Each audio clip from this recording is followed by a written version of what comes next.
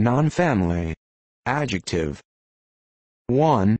Not a member of the family. Non-family. Noun. 1. A social grouping that is not a family.